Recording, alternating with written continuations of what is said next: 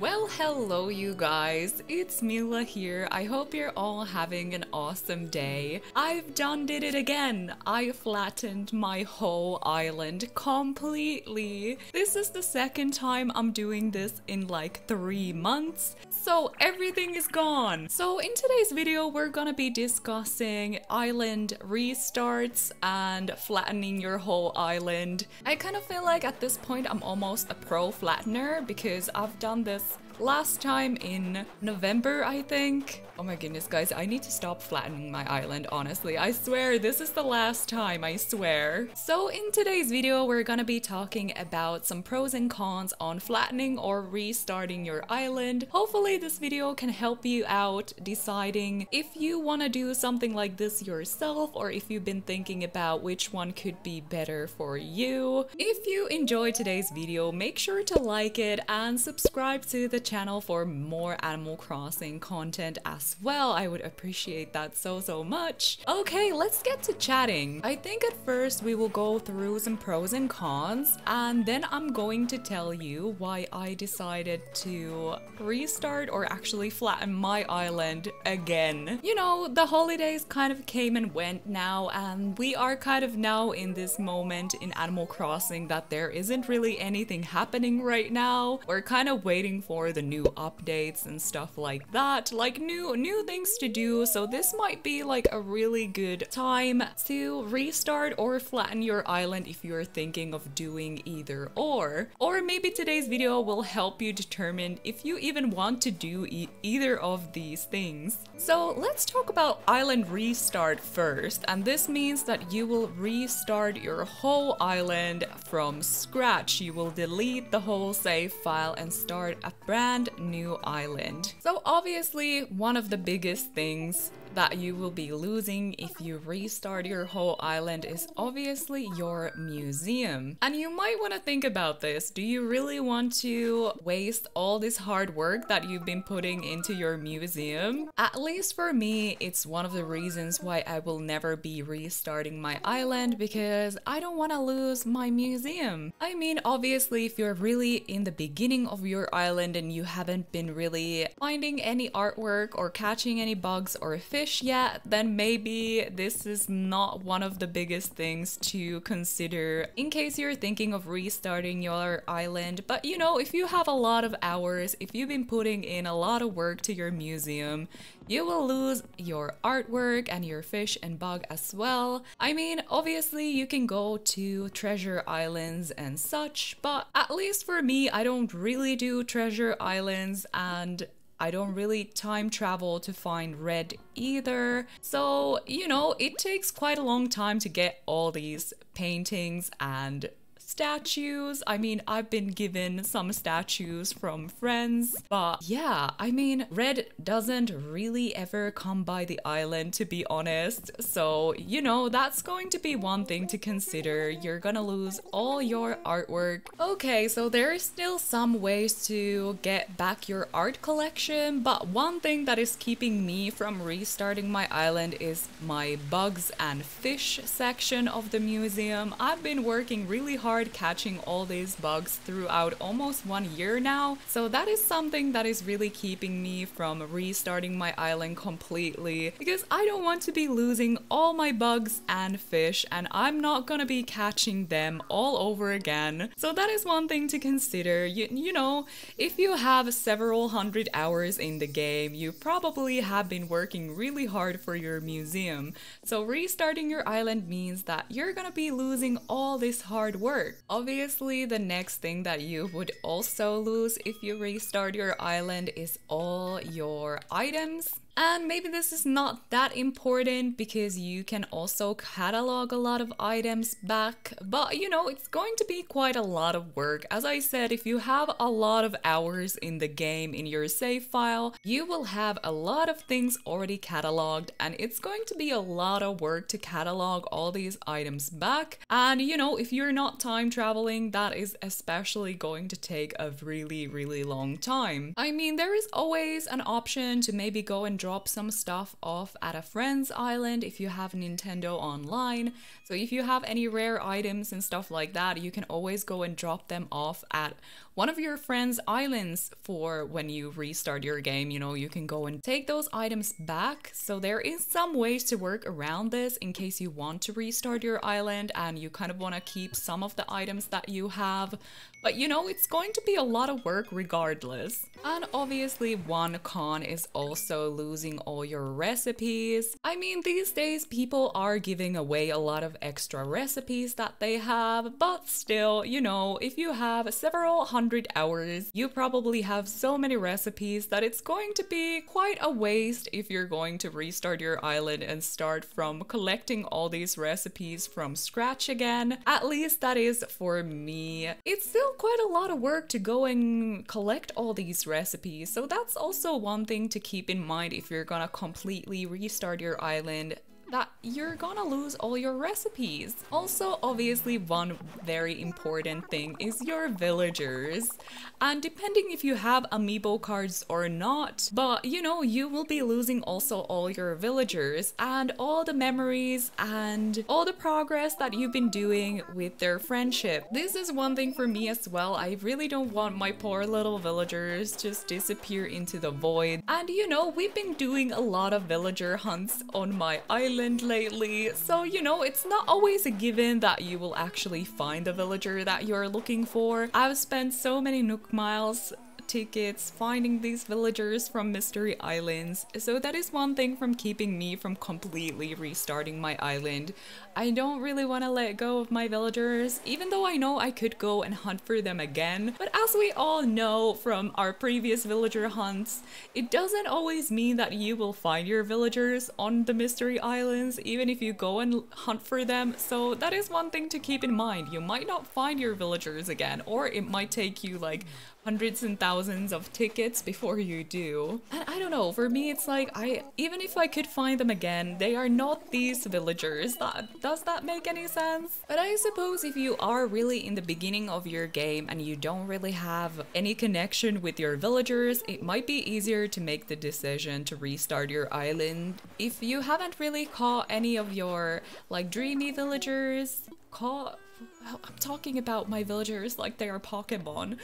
But anyways, if you don't have really any relationship with your villagers yet, or maybe you don't have your dreamies on your island yet, then maybe it's easier to really restart your island. So maybe you can find your dreamies on your next island. So these are probably like the biggest cons of restarting your island. There are a few pros to this as well, so it's not only cons. And probably one of the biggest plus side of restarting your island is obviously choosing a new map. So in case you are like me and when you started this game you didn't really know what was what, you didn't know anything, so you just chose a random map that just looked cute. And maybe you chose a map where your resident service building is very very close to your airport.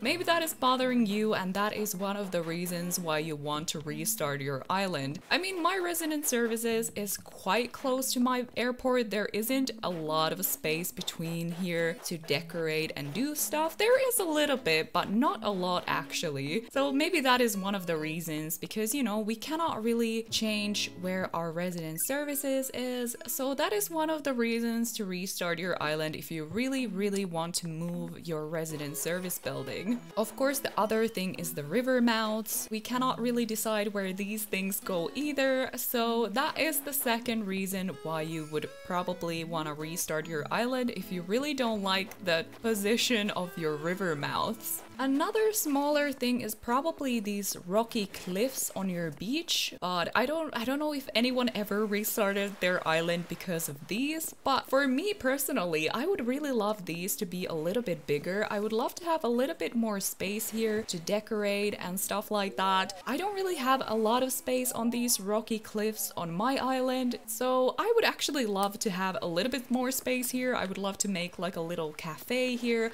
I can make a small cafe on these rocks, but I don't really have a lot of space to decorate there, so that is one thing to keep in mind as well when you're choosing your map, that if you want to make like some sort of cool areas on these rocks here, maybe you want to choose an island that has a lot of space on these rocks. Like, I would love to make a cool little like stargazing area here, but there is like not many tiles here, so I, cannot really fit anything on these rocks here. But I've seen on some maps, people have a lot of space on these things. I would honestly love to have a little bit more on mine. So that is one thing to keep in mind. And also, of course, the position of your peninsula. My campsite is here right now. But yeah, in case you want a lot of space here, if you have something to, maybe something you want to decorate on this part of your island, then maybe you want to choose a map that has a lot of space here. But that is one of the biggest pros of restarting your island. But honestly, I don't know. You have to kind of wait in if it's really worth losing all the progress with your museum and with your villagers. You know, I mean, my map is not the most per perfect map of all the maps, but I still like it. For me, it's okay. And I kind of like the challenge of having the resident service really close. I mean, it's not as close as some people have it, but you know, I kind of have to work my way around it, which is kind of fun. I, I kind of like the challenge, to be honest. The second pro is of course choosing a new name. So in case you gave your island like a really silly name, or maybe you gave your character a really weird name, then of course if you restart your island, you can choose a new name. So that is one thing as well. If you want to really rename your island, then restarting is the only way to do so. So in my opinion, restarting is quite dramatic. You will honestly lose a lot of progress. If you have a lot of hours in the game, it might not be the smartest move. You really have to think about it. One of the pros actually is that you don't have to do all the work as well, so restarting your island is quite easy. Uh, let's say if you have a lot of flowers around your island, it is going to be a lot of work to actually flatten the whole thing and get rid of everything. So that might be one thing. If your island is very well decorated and full of flowers, then maybe restarting might be a better better option for you. But honestly, deflowering your island is not too bad. And in case you have a friend who can come and help you out, then that is really a good tip as well because your friends can actually come and dig up your flowers and throw them away in case you need some help with that. So keep that in mind as well. Okay, let's talk about flattening your island then. Okay, I've done this twice now in less than three months. And I must say, every time I do it, I'm like, why? Why did I start this process again? Flattening your island is a good way to start from scratch without actually starting from scratch watch. The only big minus about it is obviously all the work that you have to put in. For me, it took about three days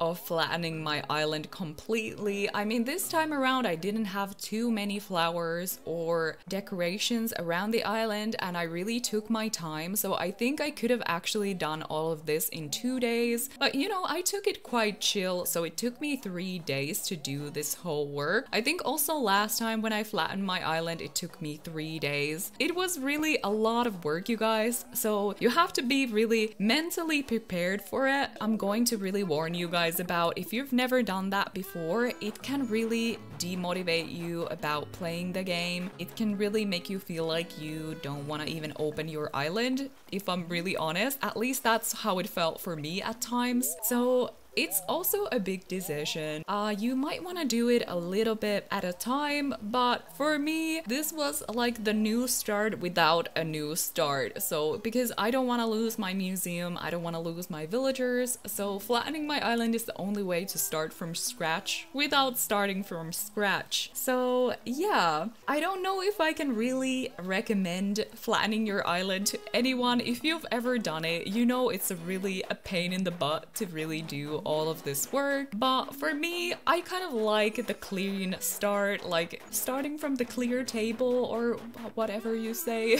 I don't know, I just love the space, the new ideas can come through without any distractions. So that is probably the only reason why I like actually flattening my island completely. I just, you know, I need all this space to think about what I want to do with my island next. But yeah, just keep in mind that in my might be really demotivating, so you need to be prepared. You need to be prepared if you're going to be flattening your island. And don't be too harsh on yourself. If it takes you more time and if you feel really demotivated at times, you know, it's okay. Just take your time and, you know, do little by little. That is the best way to really do it. I would only flatten my island if I would really feel like I really, really, really don't like my island. And that is probably one of the reasons why I've also decided to flatten the whole place because I don't know, it was just something about my island that I really did not like, but I couldn't really change it up a little bit. I just needed the fresh start, if you know what I mean. I just needed all this clear space to think about what I want to do with my island and what is it exactly exactly that I want to do. I'm kind of keeping my rock garden though because this this thing takes so much energy and time that I don't think I ever want to do a rock garden ever again. So the rock garden is here to stay. Okay, let's chat about my island for a little bit. Um, I restarted my island yet again. Guys, I cannot, I have no excuse. We restarted my island a couple of months ago and I was so sure that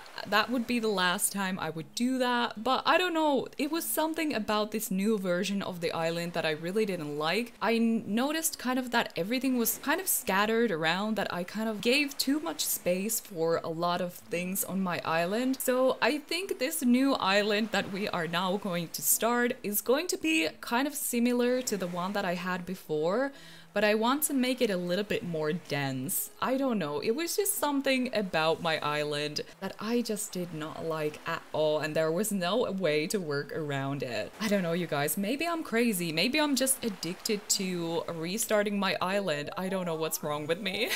I hope this helps you out and maybe, you know, sometimes you forget all the hard work that you've been doing and you are kind of like tempted to restart your island. But I don't know, if you are like me and you really don't don't want to lose the progress that you've been doing for the past like one year almost soon, maybe give flattening your island a go and have your friends over to help you with the flowers and stuff. And yeah, that is pretty much it. It's going to be a lot of work, but you can do it. I believe in you. And you know, just give yourself time. Don't be too harsh on yourself. You don't have to flatten your island in one day. Like, no one can do that. That will be so demotivating, by the way. It will drive you crazy. So, you know, know, take like three days. That is like, if you work really kind of like four hours per day or something like that, I think three days is enough to like declutter and flatten your whole island. You know, put on a good movie and don't even look at your island when you are terraforming it. What about you guys? Have you ever flattened your island? Have you ever restarted your island and why did you do so? Let me know in the comments down below. That is all I have to say about restarting restarting your island I'm really excited to work on mine. To be honest, I think I want to do some decorating videos about this new island and hopefully this time around I will be able to actually do everything. I knew I was going to flatten my island again because I wasn't motivated to decorate my island at all and that's when I knew I knew that was like not the way I wanted my island to look so I kind of knew this was coming. I knew that the restart was coming. Oh my goodness.